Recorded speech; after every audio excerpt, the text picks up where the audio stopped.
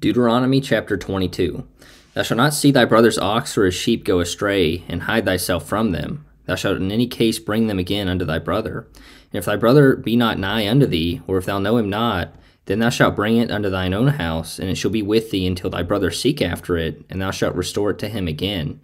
In like manner shalt thou do with his ass, and so shalt thou do with his raiment, and with all lost thing of thy brother's, which he hath lost, and thou hast found, shalt thou do likewise. Thou mayest not hide thyself.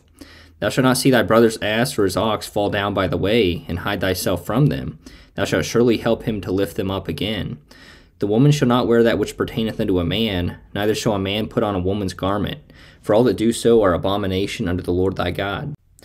If a bird's nest chance to be before thee in the way in any tree or on the ground, whether they be young ones or eggs, and the dam sitting upon the young or upon the eggs, thou shalt not take the dam with the young, but thou shalt in any wise let the dam go, and take the young to thee, that it may be well with thee, and that thou mayest prolong thy days. When thou buildest a new house, then thou shalt make a battlement for thy roof, that thou bring not blood upon thine house, if any man fall from thence. Thou shalt not sow thy vineyard with diverse seeds, lest the fruit of thy seed which thou hast sown, and the fruit of thy vineyard, be defiled.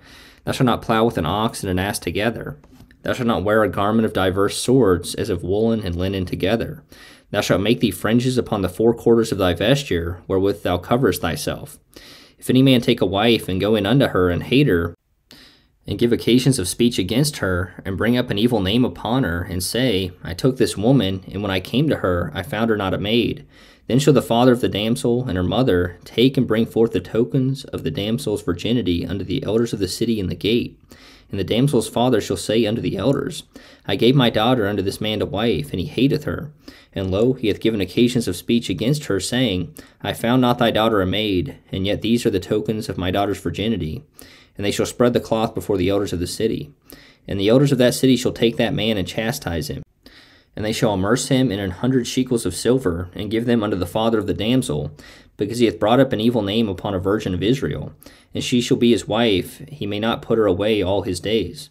But if this thing be true, and the tokens of virginity be not found for the damsel, then they shall bring out the damsel to the door of her father's house, and the men of her city shall stone her with stones that she die, because she hath wrought folly in Israel to play the whore in her father's house. So shalt thou put evil away from among you.